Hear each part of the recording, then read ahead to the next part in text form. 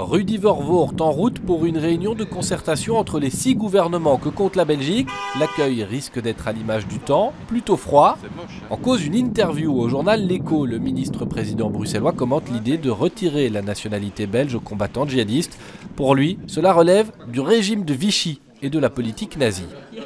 Bien, je remets ça dans un contexte de l'histoire, simplement pour dire que ces recettes-là ont déjà été utilisées par d'autres. Je n'ai pas dit que le gouvernement fédéral euh, prenait des mesures qui euh, s'apparentaient à, je dis simplement que d'autres l'ont utilisé dans l'histoire et que c'est toujours bon de se rappeler finalement dans quel contexte on se situait et c'est peut-être pas des bonnes réponses. Problème, cette mesure figure bien dans les projets du gouvernement fédéral depuis les attentats déjoués chez nous et celui-ci se montre plutôt vexé. Je trouve la comparaison entre la communauté juive et les terroristes euh, et les combattants euh, en Syrie, je trouve ça euh, très très très difficile et certainement 70 ans après Auschwitz. Quand on ne sait pas faire la différence entre la situation d'un juif innocent et la situation aujourd'hui d'un terroriste condamné en justice pour avoir tué des personnes, je crois qu'il vaut mieux réserver ça pour des propos hors réunion. Ça n'a pas du tout été abordé en réunion, il vaut mieux. Les propos indignes, ça reste en dehors des réunions.